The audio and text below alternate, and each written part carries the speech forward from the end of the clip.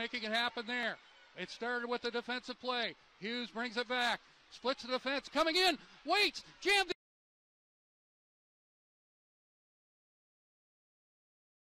Chasing it, Shellberg. Taken away by Hughes just on. Hughes to the high slot, in tight Caufield.